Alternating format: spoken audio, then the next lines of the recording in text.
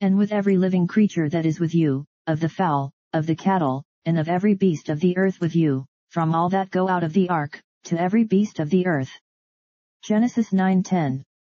And with every living creature that is with you. This is a further proof that this was not the covenant of grace, but of conservation, since it is made with irrational as well as rational creatures. Of the fowl, of the cattle, and of every beast of the earth with you. The birds of the air, the tame cattle, and the wild beasts. From all that go out of the ark, to every beast of the earth.